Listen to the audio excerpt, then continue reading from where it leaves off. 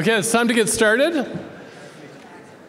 As, as we were looking at this award and trying to come up with who it was that was going to win it, um, you know, we had all kinds of great nominees. We had a, a, a real interesting um, data collection effort. And as we looked at Steve, um, I just want to read some of the quotes of people that were describing Steve and his leadership style.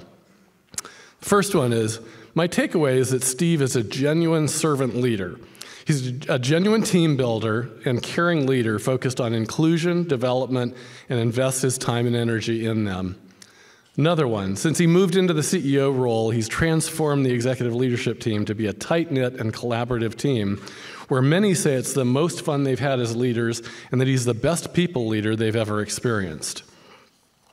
Another one, he's very self aware and agile. He gets input from so many sources and is not afraid to pivot. He's a continuous learner, open to colleague feedback on how to do business. He's learning agile, asks a ton of questions, and always seeks input before coming to a decision.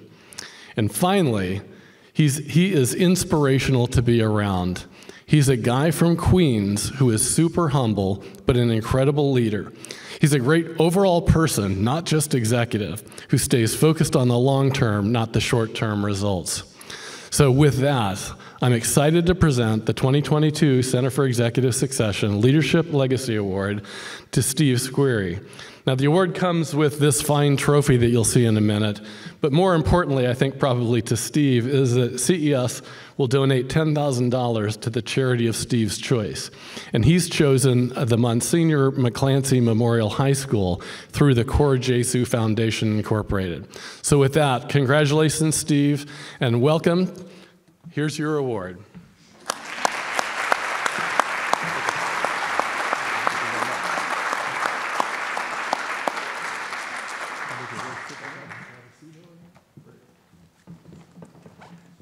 Stick that right there. Thank you very much. Quite an honor. I appreciate it. And uh, I think you said some nice words, but I couldn't hear them. So. yeah, I was telling him the downside about being up here is you can't hear anything that's being said at the podium. So now we can actually have a conversation Good. and hear one another. So, um, so first question for you, Steve, and that is, uh, tell us about your leadership journey. So you started as a manager in the Travelers Check Group um, 38 years ago. Now you're the chairman and CEO. What can we learn from your journey about navigating a career? Well, I mean, you know, first of all, I think that uh, let me provide a little context in from a uh, sort of a little bit of a social perspective. I mean, I I grew up in Queens, and the donation is to my high school, which I'm still very involved in. I'm on the board of my high school, and uh, it's it's a really important thing for me. But I grew up in Queens. Uh, I was telling. Uh, you know, the dean, my, my grandparents were Italian immigrants and didn't didn't write or speak English, uh, and came to this country. My father was actually the first one in his family to, to go to college. And in fact, in my neighborhood, I think my father was the only one that went to college. And so as, as I started off in my career, I went to Manhattan College, and as I started off in my career, what was really important for me was just to be able to get a job and you know be able to support my family at, at some point.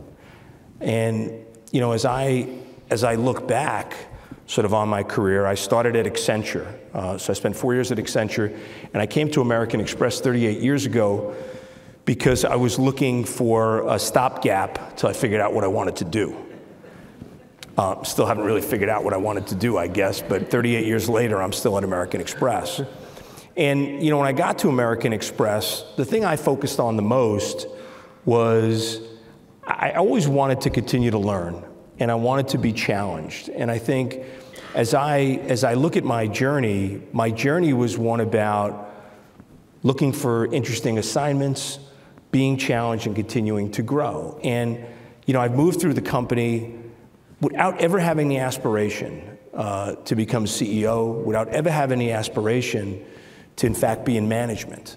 Um, it was all about growing. And, and I think that really helped me and, and kept me focused. And, and I was asked probably a couple of years ago to to sort of reflect back on you know what it was that was important on the journey and i think what was really important on the journey was self-awareness i think being self-aware was so important what were your strengths what were your weaknesses and being able to admit those to yourself being able to think about and, and be able to accept feedback. Feedback is so important. And, you know, so many people are either afraid to give feedback or afraid to accept that feedback. Communicating. Um, you know, growing up where I grew up, um, you know, you could tell from my accent, um, I'm from the South. I'm from, I'm from Southern Queens. And, uh, you know, we didn't speak like everybody else in business back then. And so, you know, it's, uh, communication was important, but not only speaking, but, but listening. And thinking about when you were taking a job in the company, I always thought about what could I learn from it and what could I give back to the company? And I don't think a lot of people think about that. And I always thought about when I took a job, what did it prepare me for down the road? Um, did it prepare me for a bigger challenge? Did it prepare me for a bigger management job? And so I always like to take some risk with those jobs. But I never focused on the politics at work. And you hear a lot about sort of the palace intrigue, and I'm sure you've all watched Succession and so forth and so on. And usually that's a losing hand. Um, and for me, it was always about making people around me better um, and making the company better. And I'll just tell you one quick story, which I, I think sort of really helped my career. It was 1997, um, and Y2K was about to happen. Now, some of you weren't born. Uh, some of you have no idea what it was, but it was when, you know, sort of the year 2000 was going to uh, occur. And most of the computer programs back in those days were only written with two digits. So, because to save space, right? So it was, so when it hit, you know, 2000, there was a fear that everything would sort of stop. And we had to rewrite so many programs. And I remember the CEO at the time, Harvey Golub, brought us all in a room and he asked, he had a bunch of senior executives, and I was, you know, I was senior, but not as much as some of the other guys. And he said, Look, I need somebody in addition to their job to to manage, you know, Y2K. And I looked around, I raised my hand, and said, I'll, I'll do it. And, you know, a couple of people said to me, you know, if you screw this up, your career is over. I said, if I screw this up, all our careers are over, okay? and in looking around that room, I felt a lot more comfortable me doing it than them doing it. But it was, it was about taking a risk, right? And it was about learning more. And, you know, from there, I think it really just helped. But I think, you know, so many people say to me, my, my goal is to be CEO of a, a major corporation. It's a one in a million shot. Um, you know, American Express had 12 CEOs in 172 years, right? And then they got stuck with me. And, you know, the reality is, I just happened to be the right guy at the right time, um, you know, to, to take over this role. But I think what you should really focus on, and my, and my message to people as they think about moving forward in their career, become a better leader, become a better person. Um, and you do that by, by committing to continually learning. And I think that's what's important. The minute you stop learning, you start dying. Okay, thanks. So, is there anyone in particular that's been instrumental in guiding you in your path to success, and, and what has that support meant to you? You know, it was my parents. Um, my mother and father um, you know, sacrificed their, their entire lives for myself and my three brothers. Uh, they worked, my father worked two jobs, my mother worked, uh, and they were really selfless. They were selfless. I mean, they, they wanted a better life for their children, and they, they, you know, sort of spoke to us about how important it was to have an education and how educated people could really move, could move forward. But I think most importantly, what they did is they, they instilled values in us. Treat people with respect and dignity. Treat people the way you want it to be treated yourself. And, and I think that, that is so important. And you don't see a lot of that in business today. And, and you know, the reality is, yeah, I may be the CEO, but I'm no different than anybody else that works at the company. And uh, you know, as I mentioned, the award is really to recognize people that invest in leaders, and American Express is known for great leaders. Uh, what, what is it that defines a great leader? So, you know, a great leader defines a vision for the company. And then a great leader defines that roadmap. And so, if you think about it, and a lot of you probably take strategy courses, strategy is the roadmap to vision. I mean, that's what it is. And that's all well and good, but then you have to have passion, and you have to make sure that you can instill passion within the organization so that they know that you're behind this and that they can all get behind that vision as well. And if you get that far, then you have to realize if you're leading the company, if you want to lead, you have to be willing to serve. The company does not exist for your benefit. You exist to serve the company. You should inconvenience the one, that's you, to convenience the many. And that's not what we see all the time, right? You see a lot of situations where it's about the executive. It's not about the executive, it's about the company, it's about the culture, it's about the people. And if you can get past that, then what you need to do is you have to have some good judgment. You've got to be willing to be accountable. You've got to demonstrate courageousness. You've got to make courageous decisions, and you have to have integrity. Um, and, and that's what I think. And that's what, when I look for people, I look for people that no matter what the job is, because it doesn't matter what your job is, you have to create a vision for your organization of where you're going. No matter whether you're running an HR organization, you're running the legal team, no matter what you're running. And you have to make sure you can rally an organization around that. And that requires some passion, passion from you, and then instilling passion in others. So that's how I've always looked at it, and that's how I've tried to lead. Yeah, and so you've talked a little bit about what shaped you as a leader, and you've mentioned culture and the importance of culture. Uh, I want to kind of flip it around and say, so how do you shape or drive change in a culture at a company that's 170 years old? Yeah, so I, I think, you know, when you think about a company that's 170 years old, you think about a state and, you know, sort of uh, culture or uh, product. But you have to remember, um, you know, American Express, when it started, started as a freight forwarding company. That's what we started as, a freight forwarding company. Uh, we used to move freight from New York to the West Coast. It was started by Wells and Fargo. I guess they got tired and set up another company uh, as well, right? And, and, you know, we've morphed through the years, but I think, you know, what's happened with our company was always about service. It was always about security, and so we built on that. But when I took over as CEO, um, you know, I've been in the company, I've been in the company 38 years. I mean, that's a long time. Um, and, you know, there were things I liked and things I didn't like about it. And so, what I did when I first took over is I went to the top 100 executives in the company and I said to them, Tell me what we should do more of. Tell me what we should stop. I met with each one of them for 45 minutes. Tell me what you hope I'm going to do. Tell me what you're afraid I'm going to do, which is really important, and whatever else is on your mind. And so I met with all the top leaders in the company. I went around to 18 countries, um, probably met with 12 to 1,500 people and got their views on what kind of company that they wanted. And, you know, when I came back, and I had been there, you know, look, 33 years up until that point, we put together this sort of framework, which we called our framework for winning.